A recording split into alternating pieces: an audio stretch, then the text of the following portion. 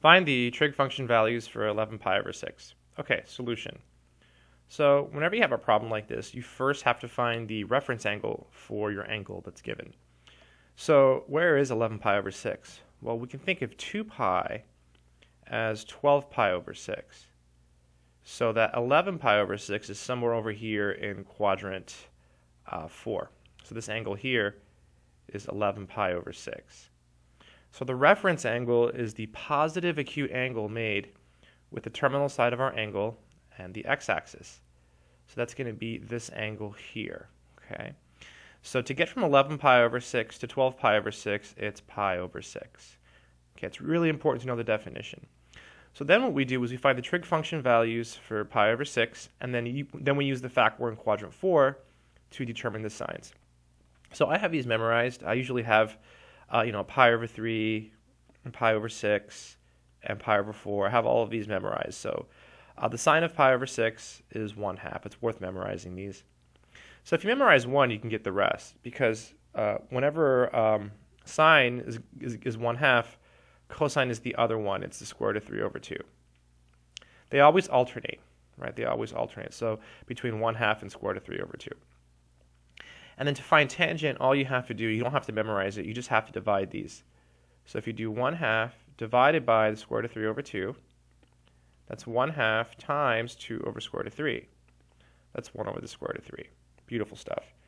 Okay, and then uh, the reciprocals are easy. You just flip these. So the reciprocal of sine is cosecant. So cosecant. Easy trick. It starts with the other letter, right? So S and then C, other letter. So it'd be 2 over 1, so 2 uh, the secant of pi over 6. That would be 2 over the square root of 3. And then the cotangent of pi over 6. That would be the square root of 3 over 1, so just square root of 3.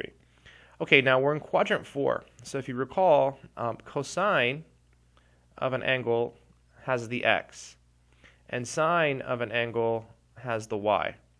So over here, cosine is positive because the x coordinate is positive, and uh, the y coordinate is negative over here because it's down below. So cosine is positive and sine is negative. Okay, so sine is negative. So now the sine of 11 pi over 6, all you do is put a negative sign on this. So it's negative 1 half. And we said cosine was positive, so cosine of 11 pi over 6, that's going to remain uh, positive, square root of 3 over 2. Then tangent of 11 pi over 6, 11 pi over 6. Um, we're going to divide the negative and positive, so that's going to give us a negative, so negative 1 over root 3. Then cotangent will also be negative, because we're just flipping it. So cotangent of 11 pi over 6 is negative root 3.